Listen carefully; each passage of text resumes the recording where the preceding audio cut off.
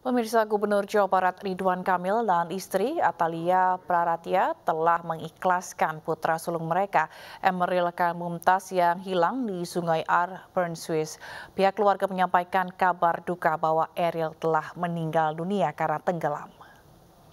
Kami sudah melihat, mengevaluasi, menyimak seluruh proses yang telah dan bisa dilakukan, termasuk juga upaya pencarian secara mandiri sehingga secara ikhtiar itu sudah dilakukan dipastikan dilakukan semuanya secara maksimal yang dimungkinkan berdasarkan situasi dan kondisi yang ada.